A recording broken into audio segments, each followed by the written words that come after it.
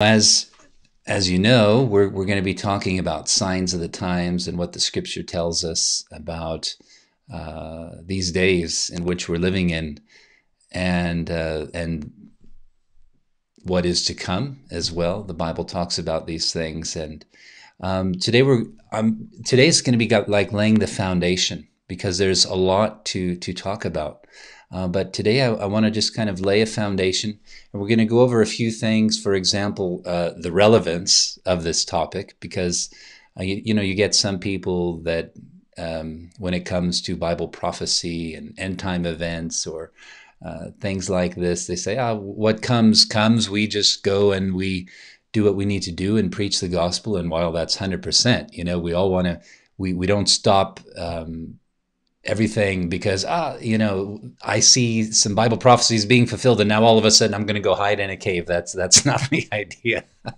In fact everything that we learn from scripture should motivate us to uh, do more not less. So you know this this whole topic of that we're going to be studying at it's it's not to you know to to to detract in any way from our main uh, mission that Jesus gave us, which is the great com- the Great Commission, to to go into all the world to to reach out with the good news that that Jesus gave us.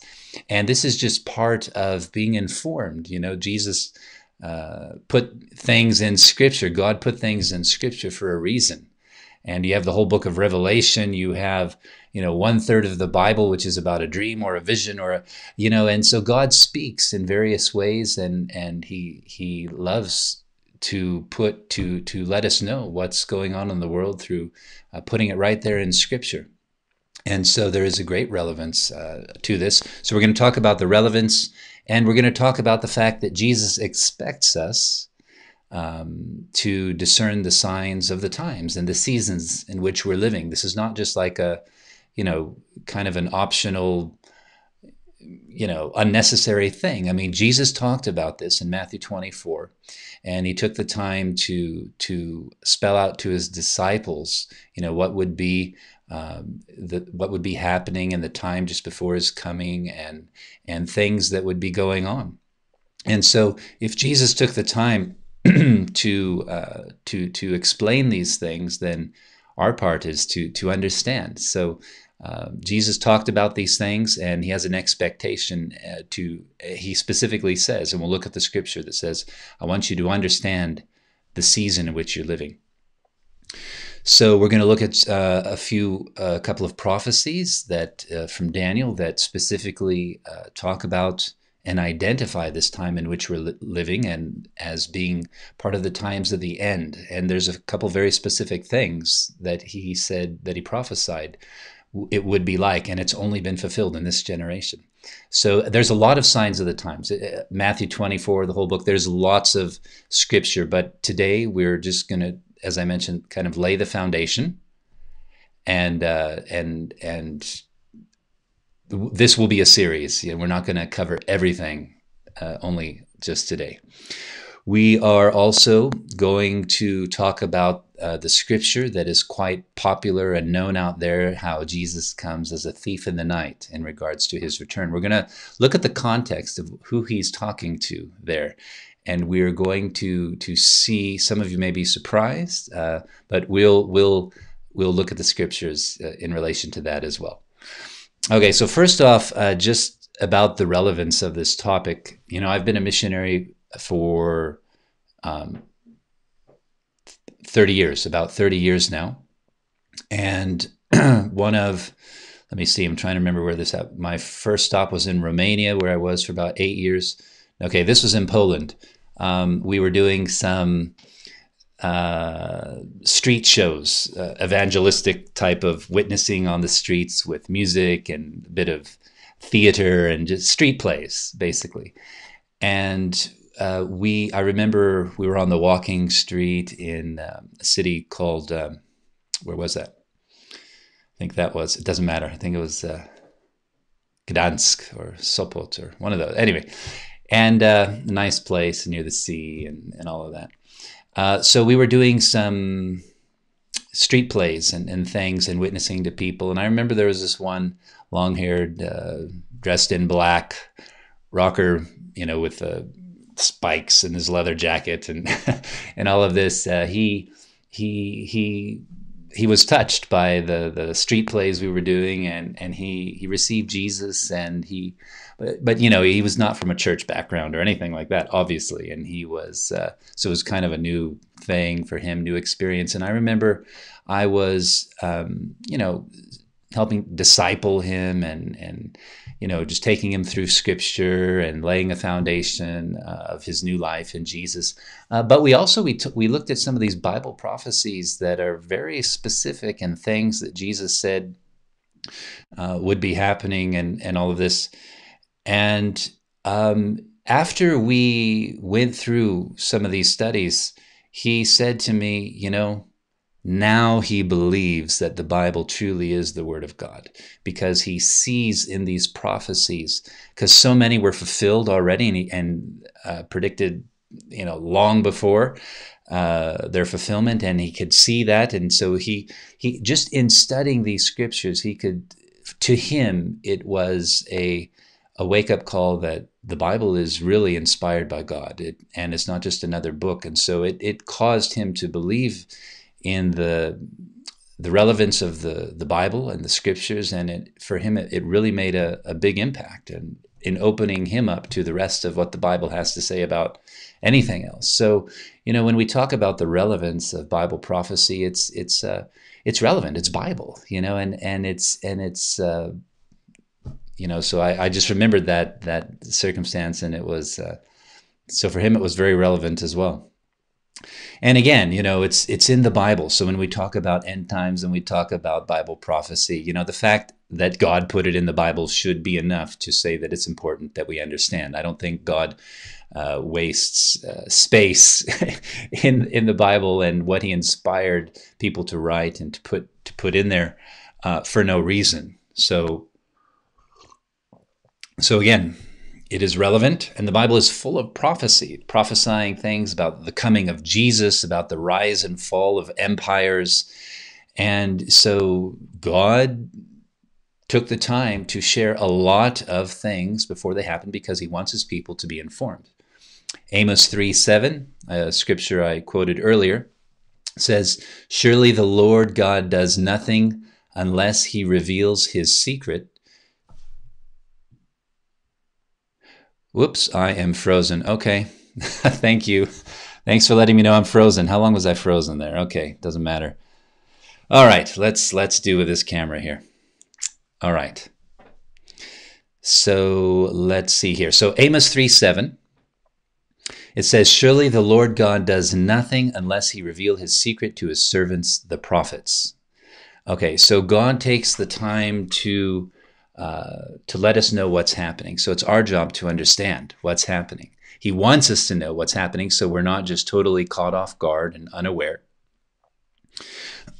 God is preparing his bride. Okay, that is a theme. It's a culmination of what God is working towards. And Jesus always, uh, he, he, he, he came to prepare a bride for himself. And, and those who love him are being prepared in that way. And and and Jesus does not want to leave his bride out in the cold as far as what's going on in the world and what's happening.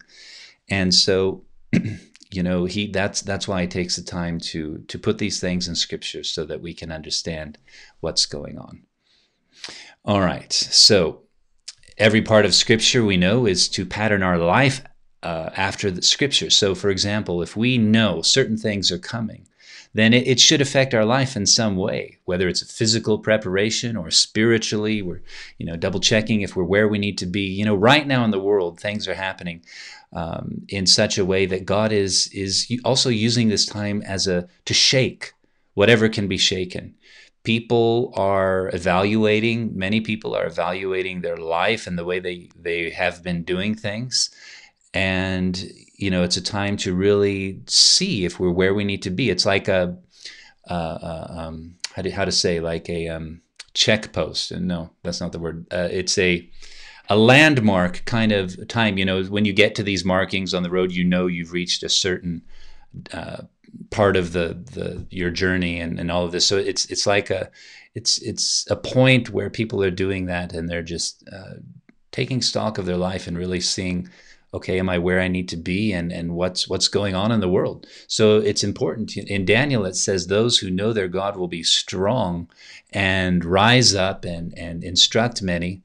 Um, because a lot of people, especially as time goes on, more and more won't know what's going on when things begin to unfold that that we've always that it's always been there in scripture. But then when you start seeing things happening, you know, a lot of people, some, many will be caught off guard and all of this. And so God needs his people. He, he expects that his, his kids, his people, his bride, his children will, will know what's going on and will be able to, to help other people know what's going on. And so that we can navigate this time, uh, which is, which is coming. So, for example, in scripture, if you knew a famine was coming, would you prepare? Joseph with Pharaoh, you know, Pharaoh had the dream and, and, um, you know, so, and then uh, Joseph was able to prepare the, the, all of Egypt and, and basically save uh, the Jewish people as well, as well as a lot of others by preparing for the famine that was coming. So, you know, is that important? Was it important to know that a famine was coming? Is it important to know? Uh, in Acts 11, 28, Agabus said again, you know, there were, hey, there's a famine that's going to be coming, and the the church uh, there they they were making preparations for that. What if you knew that the Bible says that there will come a time that you can't buy or sell without this particular what's referred to as the mark of the beast and, and all of that? Would you, how would you prepare for that? Do you prepare for that at all? Do you ever think about the fact that just imagine, you know, because we read it on a, it's in the Bible, okay, but most people think, ah, you know, far, far away in the distance, uh, never really think about it very much. Can you think of the reality of living in that circumstance where maybe they say one day, look, you can't, uh, you know, go into these places unless you have this vaccine or you unless you have this mark that shows you've been vaccinated and all of this and we're not going to let you mingle and you know or just uh, these these talks are being had right now at high levels. You can go and do your research there where they are talking about you know how to you know, is it safe for people to come out? Well, maybe first we need to vaccinate everybody, and then we need a system that monitors if you've been vaccinated, so you know, we know that you are safe to come around. I'm not saying all that's going to happen right now, but um, what I am saying is that these talks are being uh, held right now at, at extremely high levels, and there is groundwork going on being prepared right now for these times in which we're living. And yeah, I'm not going to go too deep into, you know um, that right now. But uh, I will say that this is a time when many things are happening behind the scenes as well. And but God also wants to use this time, like I said, to really uh, help us take stock of our life, see where we're at, and uh, to make sure that we are on track with the mission and the purpose that He has for us as well. okay, so um, in First Thessalonians five twenty, it also talks about do not despise prophecies, test all things, hold fast what is good, abstain from every form of evil, and may the God of peace sanctify you completely. May your whole spirit, soul, and body be preserved blameless at the coming of our Lord Jesus Christ. So we're not to despise prophecies but we are to test all things. Well, the greatest way to test is to actually weigh it with Scripture, balance Scripture with Scripture, and see what the rest of, of the Word of God has to say about that. The Word of God, the Bible is the best explanation for itself, and we just need to view it in context. And so we're supposed to test things because there's a lot of craziness out there and even you know people saying all kinds of things so we need to be grounded in scripture we need to look in the word of god turn on some light there. We need to look in the Word of God for our answers, not the latest, you know, fringe thing somebody's talking about over there. It may or may not be true, but balance it with Scripture. You know, the Scripture is our foundation. The Bible is our anchor, is our is our foundation to build everything else. You know, and so we need to know what the scripture says and that's the point of all of this that we're going to be looking at we're, we're going to allow the scripture to be our foundation to to understand uh, the rest all right so also Second timothy 2.15 says study to show yourself approved to god a workman that needs not be ashamed rightly dividing the word of truth so we are to be diligent and study to show ourselves to prove to God, rightly handling the word of truth. Some people they'll take a scripture and and say it means this and it means that and it, and it's just there's there's no other scriptural precedent for that. And you know, I'm not saying God cannot reveal things that aren't uh, in scripture, but what I am saying is that the scripture itself is the best interpreter as a first foundational uh, understanding. So we need to study to show ourselves approved to God so that we can rightly handle the scripture, the word of God, and not just repeat stuff that, you know, isn't accurate. All right, so let's talk about what did Jesus say about recognizing uh, some of these end times. Uh, it's referred to as it's referred to in Scripture here. Uh, let's. I'm going to read from Matthew 24, uh, starting at verse 32. All right, Matthew 24, verse 32. Now, he says here, From the fig tree learn its lesson. As soon as its branch becomes tender and puts out its leaves, you know that summer is near. So also, when you see all these things, you know that he is near at the very gates. Truly I say to you, this generation will not pass away until all these things take place. Now, this is Matthew 24, verse 32. Uh, we'll go through, you know, some of Matthew 24 uh, at a a next uh, later stage. But right now, I wanted to jump right to this just to show that Jesus does expect us to discern the season we are in. Because right here it says, learn the lesson from the fig tree. When it starts looking like it's, a, you know, putting out its leaves and all this, you know, summer is near. Okay. And this whole Matthew chapter 24, it started off with the disciples asking what will be you know happening before happening before the return before Jesus returns again and, and all of this and Jesus lists a, a bunch of things and then so he finishes up finishes it up with this so he said learn the lesson from the fig tree. When you see these things you know summer is near. And so also when you see all these things all the things Jesus spoke about in Matthew 24 you can you know go and, and read all of those things. We're not going to read the whole chapter or right now. I'll, so but if you go through and you read there you know it talks about pestilences you know and now we have the coronavirus going around and it's not just like an isolated thing but it's like traveled the globe because we're all connected now through through uh, the world is much smaller than it was 100 years ago with uh, air travel and and just people running to and fro all over the place, like you know, because of the technology that we have now in this generation. And so, when you see all these things, know that He is near and at at the very gates. So Jesus is saying here, when you see these things, read Matthew 24. Know that He is near just like you know summer is near from looking at the fig tree. So Jesus expects us to discern and understand the times and the seasons we are living in. Okay. And verse 34 there he says, Truly I say to you, this generation will not pass away until all these things take place. Which generation? Well, he says, uh, when you, verse 33, when you see all these things, know that he's near. This generation, the generation which sees all these things that he talked about in Matthew 24, will not pass away until all these things take place. All right, so we're, we're to recognize the season Verse 35 continues here. I'm reading in uh, Matthew 24, verse 35.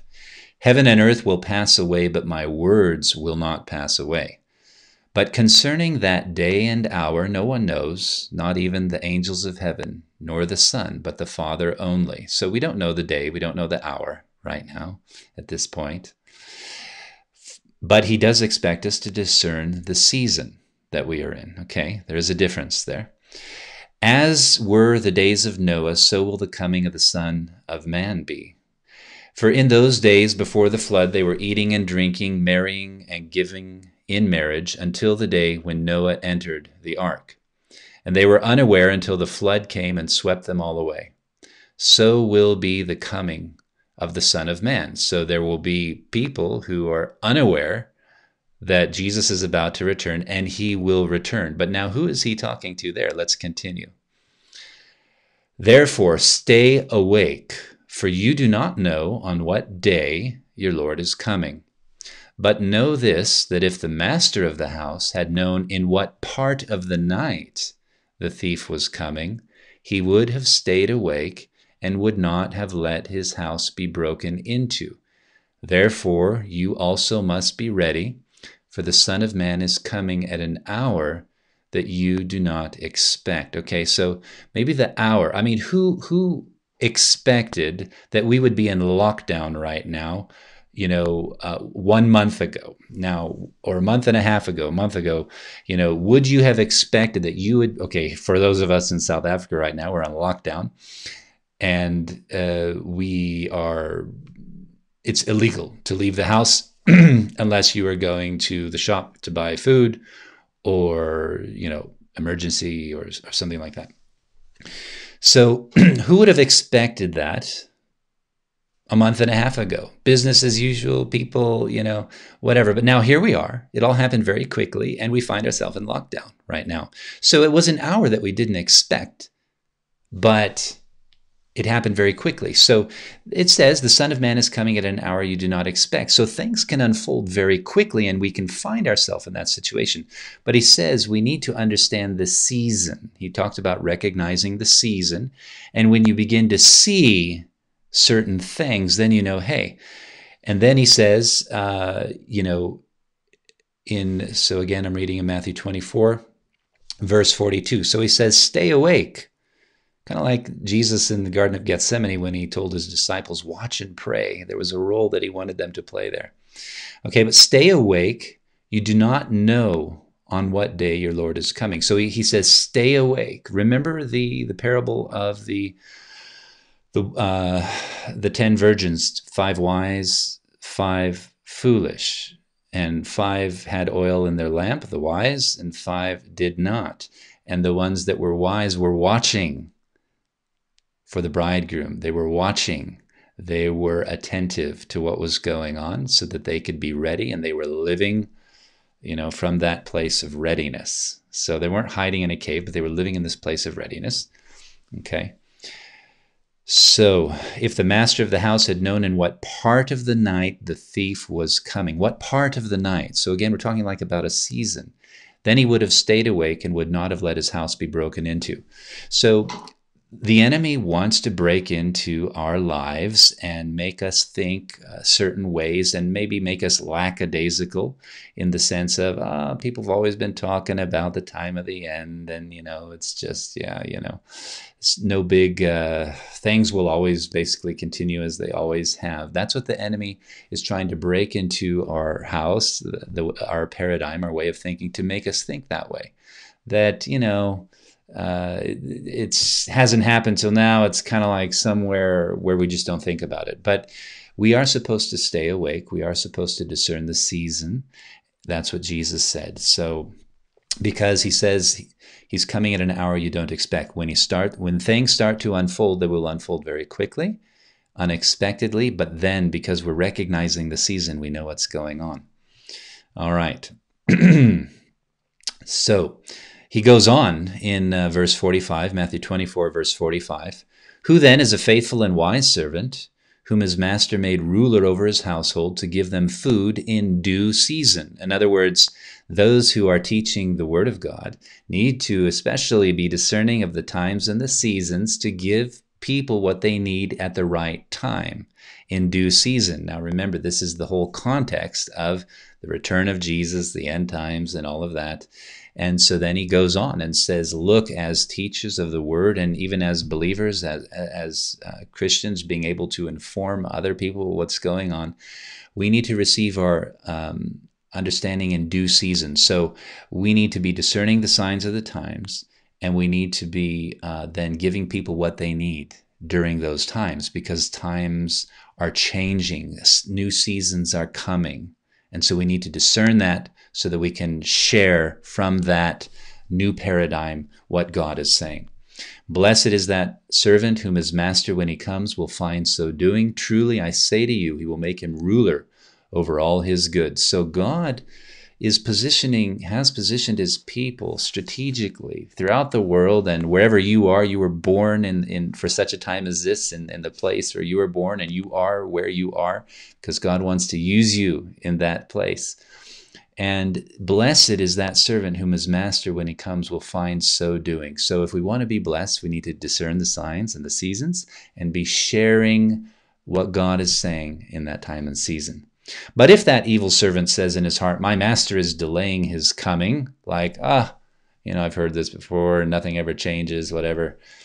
Um, so the master of that servant, okay, let me just say this, you know, it's, um, if you, a lot of movies and that have come out of Hollywood and all of this stuff, they portray people who talk about end times as that really freaky dude on the street corner yelling at people, right? You know, is isn't that how generally, whenever, if I don't know if you can think of movies where they've portrayed people talking about the end times, and but that's generally how Hollywood. That's how the enemy wants to condition people to kind of inoculate them against listening to anything, you know, Bible prophecy, end times. Oh, that's a bunch of for fanatics and and all of that kind of thing.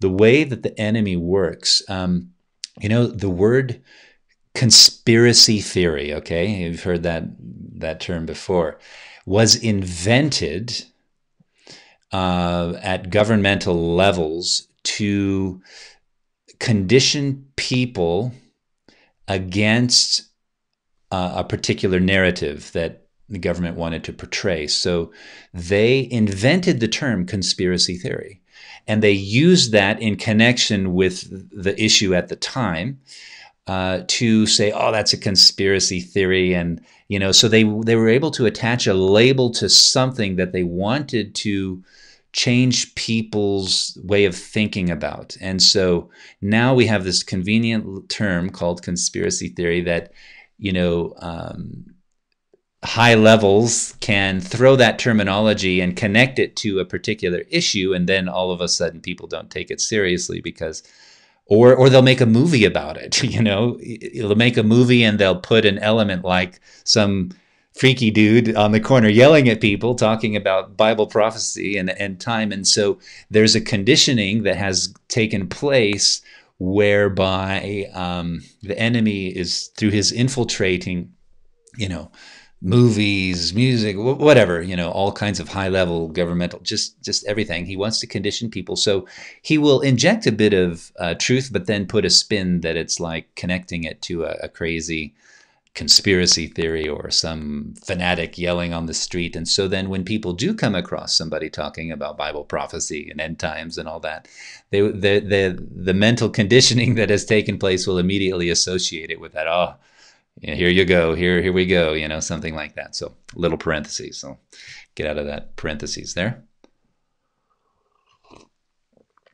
Because, okay, in Revelation 12, really getting ahead of myself now, we, we, we see a dragon casting a flood of water out of his mouth.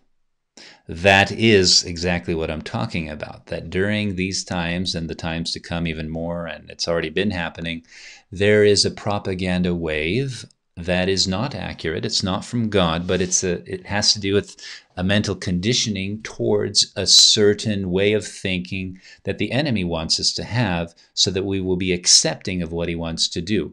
For example, you know, if, if we read in, in Revelation 13 about this mark of the beast, right, without which uh, nobody will be able to buy or sell at a certain point. Now, not everybody's ready to receive some sort of uh, microchip and injection in their body, in their right hand or forehead, as the scripture says. And so there's there's a uh, you know there there is a flood of preparation and I want to say propaganda, uh, you know, but that is the flood in Revelation 12 that is being depicted coming out of the dragon's mouth with the intention, it says, is to get the bride, uh, the believers in, and wash them away into a place of of um, where people would perceive them as being untrustable or fanatics or against what is the the, the good for all. You know, for example, uh, technology, a cashless society. You know. They will say solves problems of crime and it solves problems of you know nobody's going to steal your wallet now there's no cash and and it'll all be um, no more corruption right? Doesn't that sound good? So because everything will be above board and monitored uh, every transaction no cash under the table and all of this. So there's a lot of seemingly positive things that can be said about you know that type of thing. And so there will be these waves of explanations and why it's good uh, you know and all of that. But we need to understand there's specific narratives. Look if if god exists and the devil exists they're not saying the same thing and they don't have the same goals for us. So god's on one hand god is saying this is what's going on and this is how you need to respond to it on the other hand, the devil is is putting a different spin on what's going on, and he wants us to respond in a different way to accept what he wants to do. But for that to happen, he needs to spin his narrative, and which comes out through media, it comes out through movies, it comes out through various ways. So we need to be discerning of what source we're getting the information from, and that's why we need to come back to the the Bible, the Word of God, as our source for truth and decisions that we need to make. Okay, so um, let's see. We were in Matthew 24, um, verse, we were talking about who is the wise servant giving uh, the people what they need in due season. All right. So, but if a person begins to beat his fellow servants and eat and drink with the drunkards, in other words, ah, you know, what do you mean end times? All this, just everything is as it always is, and eat, drink, uh, be merry, whatever. The master of that servant will come on a day when he is not looking for him, at an hour that he is not aware. So the master of that servant, which servant? The servant which is beginning to beat his fellow servants, eat and drink with the drunkards. They're not discerning the times and the seasons. They're not with oil in their lamp ready to meet the bridegroom. So they're just like poo pooing the whole thing, you know, the narrative of end times and Bible prophecy and all of that. It says, the master of that servant, verse 50, Matthew 24. The master of that servant will come on a day when he is not looking for him, at an hour when he is not aware and will cut him in two, ooh, and appoint him his portion with the hypocrites. There will be weeping and gnashing of teeth. Now, this cut in two, the word of God is living and active, sharper than a double edged sword, piercing even to the dividing of soul and spirit. Some people are living out of their soul. They say, Lord, Lord, but they do not know in personal relationship. God. They do not have a desire to please Him. They're just building their own little kingdoms and things. So the Word of God divides soul and spirit, people's soulish intentions, uh, their own stuff, as opposed to the Spirit of God and living for the Spirit of God.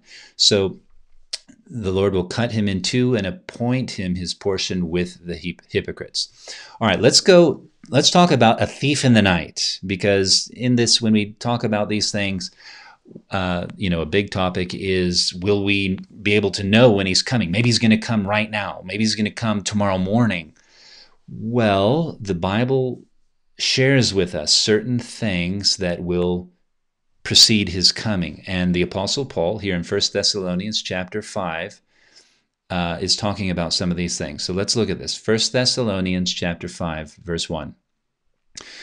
Concerning the times and the seasons, brethren, you have no need that I should write to you, for you yourselves know perfectly that the day of the Lord so comes as a thief in the night. So he is coming as a thief in the night.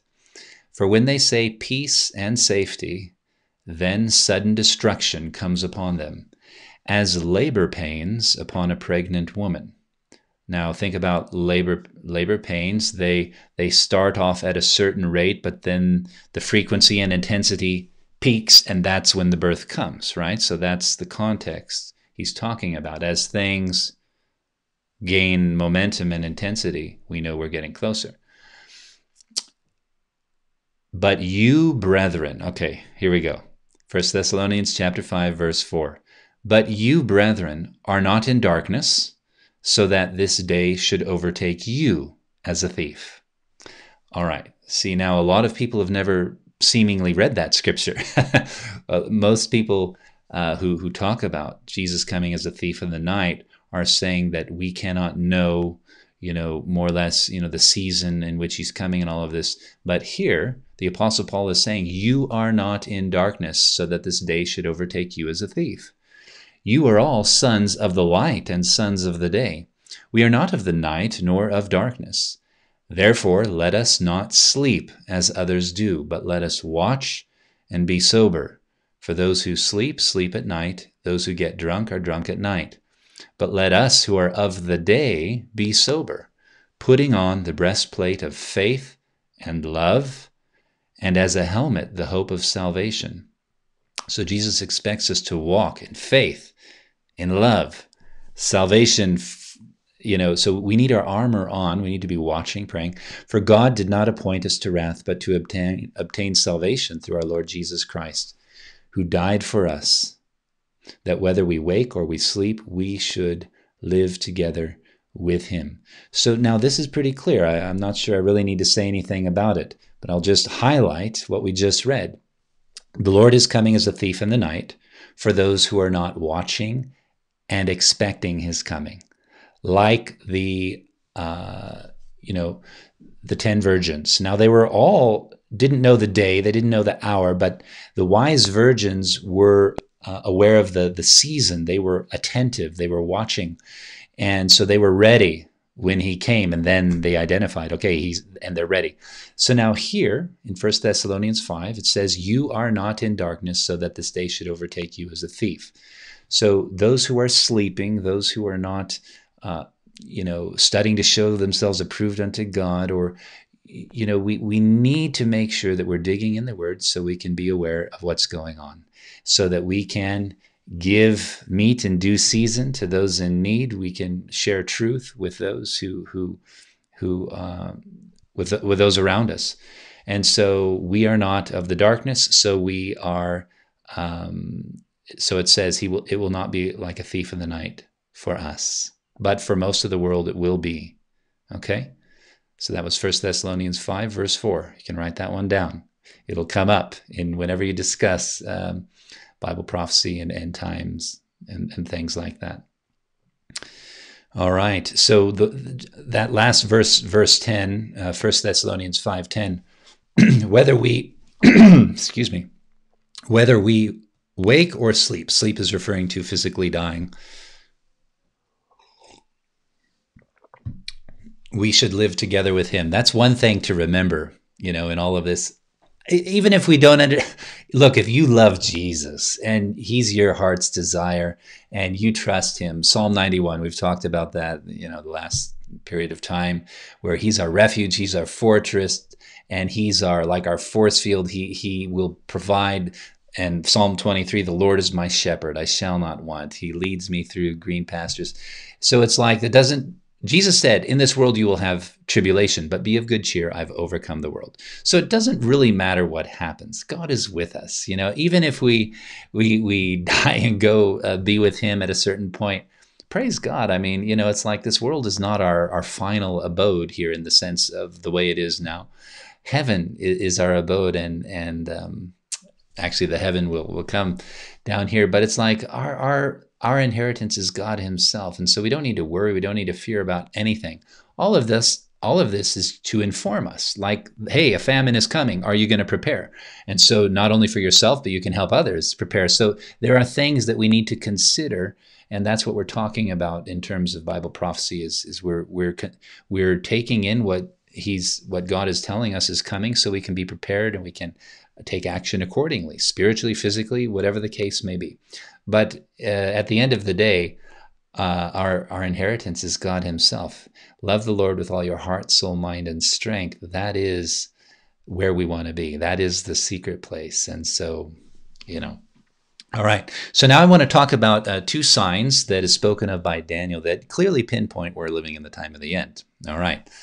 Now I'm going to go to Daniel chapter 12 and read verse 4. But you, Daniel, shut up the words, not shut up, just seal. Daniel, shut up. No. But you, Daniel, shut up the words and seal the book.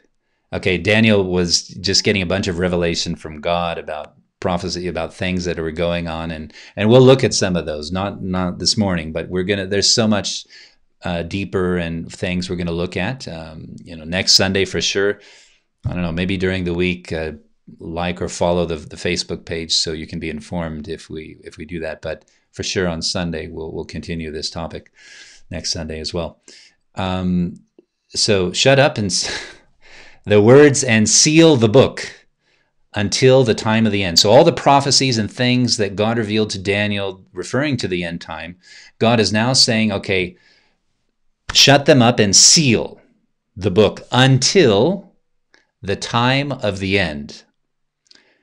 And many shall run to and fro, and knowledge shall be increased. So, those are two things that God identified with the times of the end running to and fro, and knowledge being increased. Daniel 12, verse 4. Now, the technological advances in, in one generation, the generation which we're living in now, has enabled both of those things to come to pass, which was not happening in previous generations. So, for example, air travel, airplanes. I mean, we have cars as well, but airplanes will take you around the globe I mean, the world is is our oyster now. We can travel here, there, uh, everywhere, and people are running to and fro with a smartphone in their pocket and a smart watch on their wrist, and it beeps at them and it says, "Hurry up, you're going to be late." And somebody calls you wherever you are, and it's like sometimes you just maybe want to unplug just to see what it was like in the olden, the good old days, you know, when people were not running, running, literally running to and fro. I'm late, I'm late. The technology follows us. You can work from home almost anywhere now as long as you have an internet connection, another technological marvel of these days, this generation.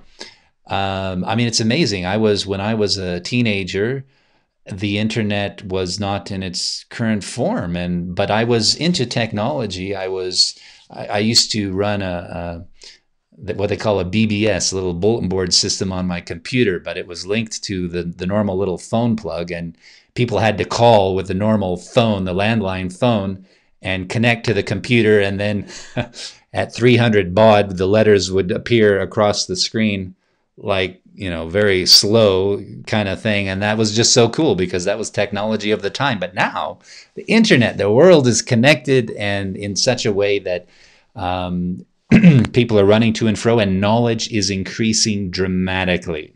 Um, so, I mean, knowledge increasing. Okay, I'm going to. Uh, there was a book written in 1982 called The Critical Path by R. Buckminster Fuller. He was a futurist and inventor. And he estimated that up until 1900, human knowledge doubled approximately every century until 1900. So human knowledge would double every hundred years, okay, up until the 1900s.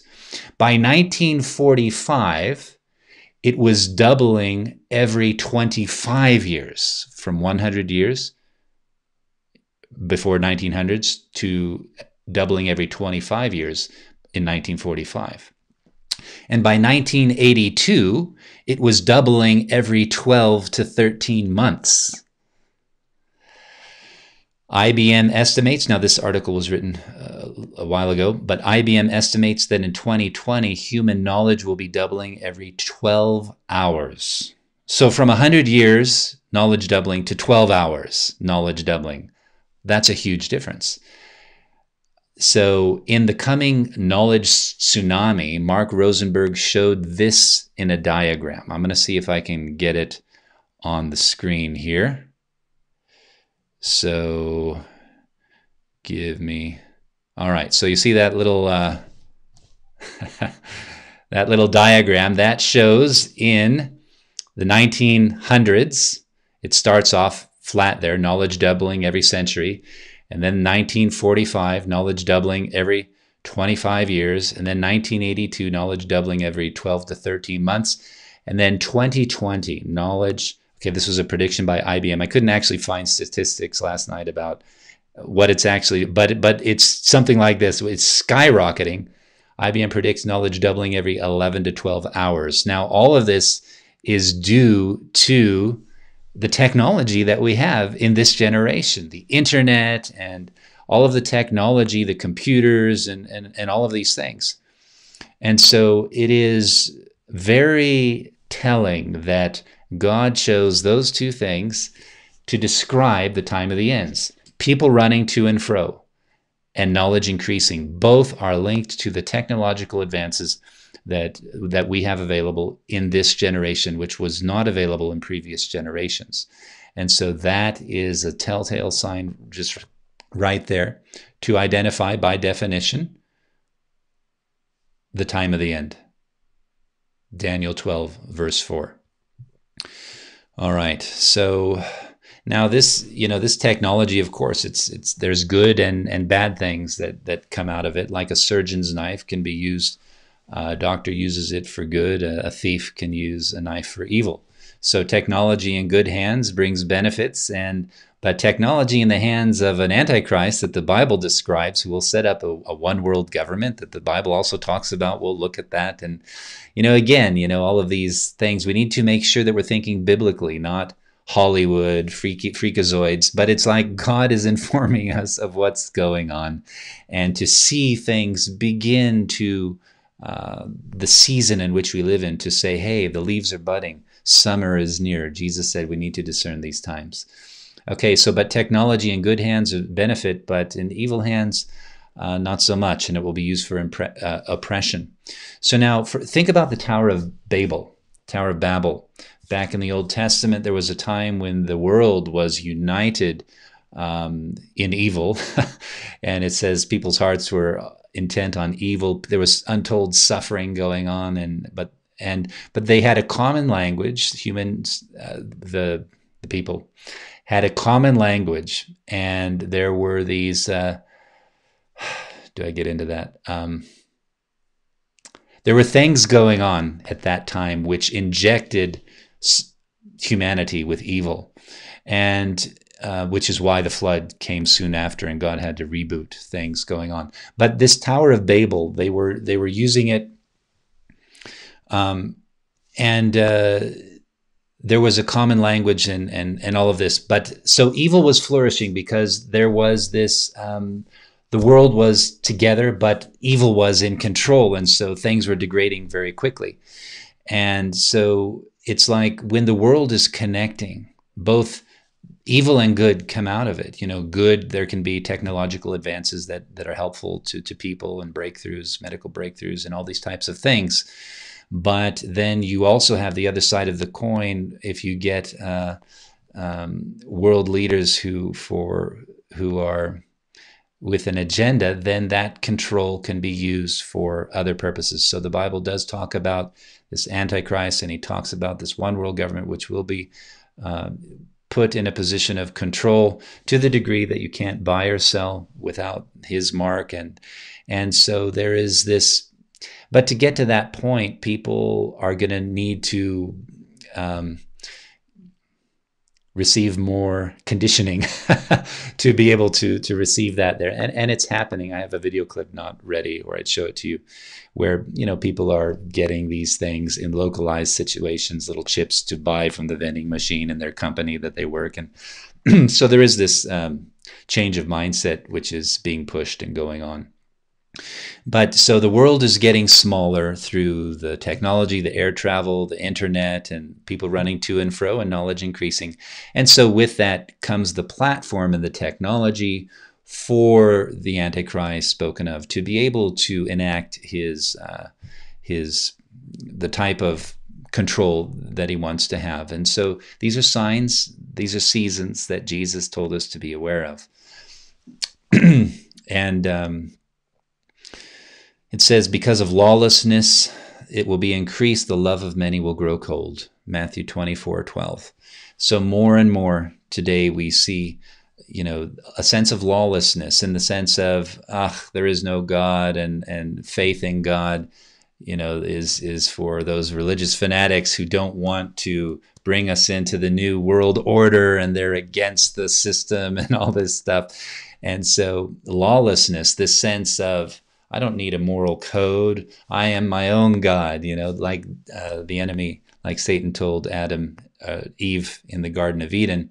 Did God really say that? Oh, he knows you'll just be like him. You, in other words, you don't need to believe what God says.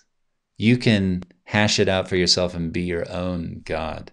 And so, this sense of lawlessness, you don't need God's law written on your heart. You don't need to follow his ways. You can follow your own ways. It's that sense of lawlessness because lawlessness will be increased.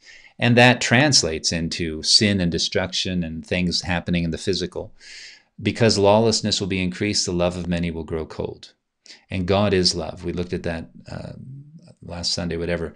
So, so the people will be growing cold in their relationship toward God.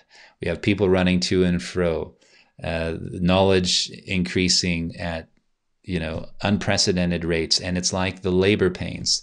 It started off, remember 1900s flat, but then whoop, 2020 like this. So the labor pains starting off, and then the intensity and the frequency has just skyrocketed now in our times. So we're, we're gonna, I'm going to be wrapping it up here, but um, again, God is shaking whatever can be shaking. So we, we will look at other uh, parts of Matthew 24. And again, this was just a foundational look at um, to to get us biblically understanding that we are living in the time of the ends. There is a there is a foundational there's scriptures to understand that help us understand that. And we'll look at more of that next time, next Sunday, 9:30 again on the Facebook Live. But uh, I will just read the first few chapters of Matthew 24. Matthew 24, verse 1 through 3. Jesus went out and departed from the temple, and his disciples came up to show him the buildings of the temple. And Jesus said to them, Do you not see all these things? So, so the disciples are pretty impressed. Wow, you know, just the temple, it's a very impressive structure, and the, the, the way it was built, and it's just impressive. Okay. And Jesus said to them, Do you see all these things, referring to the temple and the physical structures? Truly I say to you, not one stone will be left here upon another that shall not be thrown down. Okay. And so that was fulfilled in, in around 70 AD when the Romans came and they, they uh, tore down the temple and they burned it block by block to get the gold out, right? now, as he sat on the Mount of Olives, the disciples came to him privately, saying, Tell us, when will these things be? Okay, what he just said about the, the um, temple being torn down. And what will be the sign of your coming and the end of the age? So now you have a little division here. You have, okay, when is this going to happen? You talked about the destruction of the temple. And what will be the sign of your coming and the end of the age. So there is no need to link these together here, right? So we, we have the 70 AD where the temple was torn down, but Jesus has not returned yet, and there are still prophecies that need to be fulfilled in relation to all these these things that are coming, which we're going through now. So, and what will be the sign of your coming at the end of the age? But now, what I wanted to say is that, um, okay, let me read Hebrews 12, then I'll comment. Hebrews 12, verse 26 through 29. At that time his voice shook the earth, but now he has promised, Yet once more I will shake not only the earth, but the heavens. This phrase, yet once more, indicates the removal of things that are shaken, that is, things that have been made, in order that the things that cannot be shaken may remain. Okay, so what we have right now going on is a removal of things that can be removed man-made things or physical things or, or whatever can be shaken they can be moved they can be um, blocked from participating don't go there or tear it down or put a stop to it um, which like is what happened even with the physical jewish temple at the time jesus said you know it, it wouldn't last forever there and so now we have in hebrews 12 God saying he's going to shake not only the earth, but the heavens and remove the things that can be removed. God, if you feel in your life a bit of a shaking going on, well, God is shaking everybody and everything. Um, and the scripture talks about in in Revelation, um, a whole book dedicated to. We'll definitely go there as well. There's there's a, certain scriptures that talk about God measuring the temple in the sense of He is seeing. God also has a seal. Okay, we, we talk about the mark of the beast. In Revelation, it talks about God also seals His bride, His people. And so there is a, a measuring process going on. There is a shaking because God wants us to be part of His bride. He wants us to, to walk with Him in that way with oil in our lamps. He wants us to be ready. He wants us to know what's going on, to give people their, their food in due season. And He wants us to be busy about our Father's um, great commission and reaching people and, and informing uh, what's going on as well. And so um, God is busy using this time to shake. Now, don't misunderstand me. God did not send the the virus and, and all of this stuff that's of, of man-made origin and agenda. But you know, God is also using this time to, as a, as a shaking to shake things out of our life that maybe uh, don't need to be there, that maybe are distracting, or that maybe, or at least to relegate certain things to a position of lesser importance than they had been in our life so that we can make more space for things of greater importance, things of our Father's kingdom and the mission that He has for us and, and and maybe it it's learning more digging into his word to study to show ourselves approved unto god by understanding the scripture more and spending just more time in communion with with our heavenly father and maybe less with the things of this world and more with the things of our heavenly father. And as we commune more with the things of our heavenly father then his revelation and his wisdom is opened up to us and we begin to discern the signs of the times and we begin to see the pieces of the puzzle and how they fit together from God's perspective. And so God is busy shaking the world right now. He if people will allow him by his Holy Spirit, he he comes in and he shakes and people identify things that are temporal and earthen in nature and you know put that relegating that to its proper place, which is uh, underneath the eternal things of the Spirit of God. Now, everything is important, but there's a priority. If you if we don't get our priorities right, then things fall apart. If God is our top priority in our heart and He's our foundation for our life, then all the other things that we do uh, will be established in the proper way. Seek first the kingdom of God, Matthew 6. Seek first verse 33 seek first the kingdom of god and all these other things will be added unto you. So sometimes we want to put the cart before the horse because we get we start thinking in the flesh and of a, putting more priority on temporal things when god is busy saying look uh, you know i'll take care of those things but establish the foundation. Seek first my face, seek first my kingdom, and then all these other things will fall into place. All these other things will be added unto you. Then, you know, faith that works by love, you know, will be strongly activated because we'll be hearing God's inner persuasion speaking to our heart. This is the way, do this, walk ye in it, turn left, turn right. You know, faith will begin to walk by faith and not by sight, what we're observing in the world and the waves, like Peter walking on the water, you know, began to view his circumstances and then he, he sunk because he took his eyes off of Jesus. So we need to fix our eyes on Jesus. Whether we live or die, we are the Lord's, you know, and I'm not saying, oh, please, you know, you're going to die tomorrow, but these are the beginning of the birth labor pains that Jesus spoke of. I believe that we are experiencing the beginnings of these labor pains. So there is there are things happening in the world and it's causing, you know, the enemy is using it to set up his plans and purposes. But now God on the other side wants to use this to help us to evaluate our life and and where we're at and and become more in alignment with his purposes and aware of what's going on. So things are shaking, things are happening. Let me just finish up that in Hebrews 12 there. Um, Verse 28 Therefore, let us be grateful for receiving a kingdom that cannot be shaken. And thus let us offer to God acceptable worship with reverence and awe. So our God's heavenly kingdom cannot be shaken. Doesn't matter what happens in this world. Eh, you know, the the the impressive temples may crumble down. The they may shut the doors on physical meeting places. At, at look, Jesus said, "Let us work while it is day." He said, "I must work while it is day because the night is coming when no one can work." How, how are you going to work? I mean, nobody can work right now. We're on lockdown right now, but you know.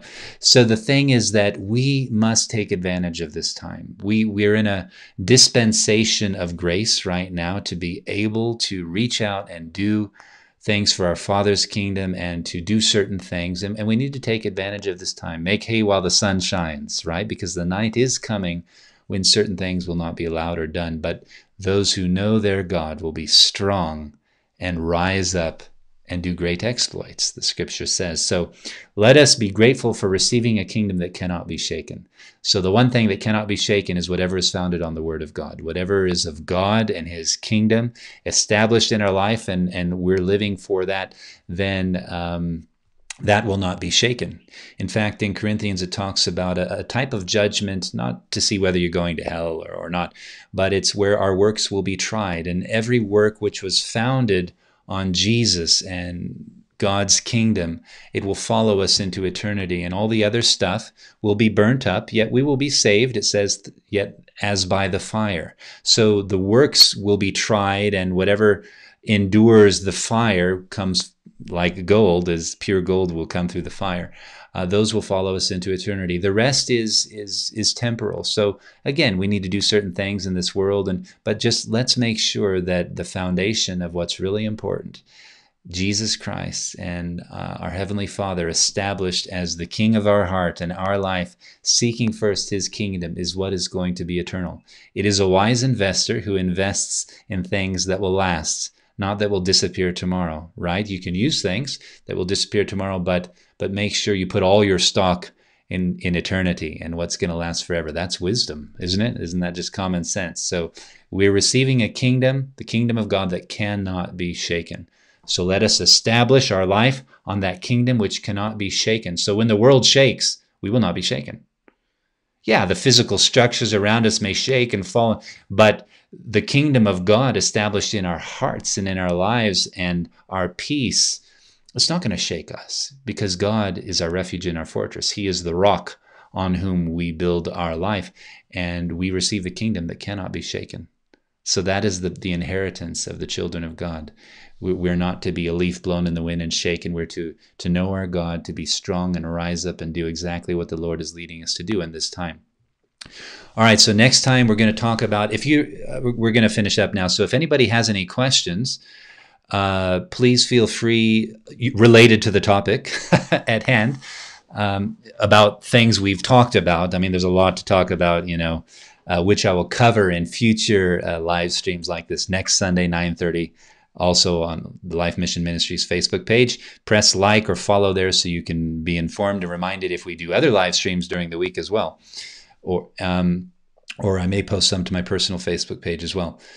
Um, so, um, what was I saying now? Bloop. Okay, I, I, finished the little parentheses, but now I, I, lost. Okay, so in the future live streams, we will talk. We will go deeper into other prophecies and other things. This is just scratching the surface. This is just to kind of, you know, show us that we are living in the time of the ends, and and to talk about the relevance of this topic. But there is there is uh, there is a lot of. We've actually done a whole course through the whole book of Revelation and different chapters in Daniel and and, and different things. So we will. There's a lot to look at, and we will continue this next time. Um, so, but oh, if you have any questions about what we've talked about, feel free to put in the comments and I'll take a look just now and we can, I'll see if I need to clarify something based on your question or, or something like that. So let's see. Um, yeah, so I, I guess that's about it. So again, let's remember God is with us. We're his kids. He loves us so much. We need not be afraid. Our kingdom will not be, his kingdom will not be shaken. Let's make sure his kingdom in our heart. And, you know, there's absolutely nothing to fear, but it becomes more and more important to be led by the Spirit of God. All right, so let me see if there's any comments here. Let's see. Hi, Eduardo. Hi, Mark. Greetings from Melbourne. Greetings to you as well. Hey, Frankie. Olaf the Snowman. Not sure when she get there. Hi, Craig from Scotland. Hello there. Welcome. Hi, Quentin. All right, so please, if there's any questions, let me know. Otherwise, I will say goodbye for now until our next session. All right. Well, um, if your comment pops up, hi Gerald, good to see you as well. You you are welcome to type your um, uh, your questions in the comments, and I'll try to interact there as well, and and we can talk about things there as well. And other than that, God bless you. Jesus said, I will never leave you nor forsake you. He is with us always. And it's so good to be to to know him. All right. God bless you. Much love to you and yours. Have some quality time with your family. Have some quality time with God. Have some quality time with God and your family. Or if you, are by yourself there, quality time. Father, Son, Holy Spirit with you. What a amazing um, quality time you can have as well. So much love. See you next time. God bless.